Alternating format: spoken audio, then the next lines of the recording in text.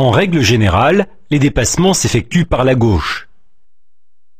La première chose à faire est bien sûr de vérifier que la signalisation, panneau ou marquage au sol, ne s'y oppose pas.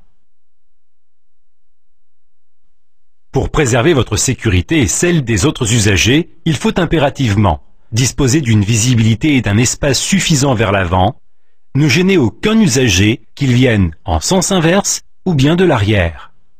Posséder une réserve d'accélération et d'une vitesse suffisante pour que le dépassement soit aussi bref que possible. Dès que votre décision est prise, allumez le clignotant gauche.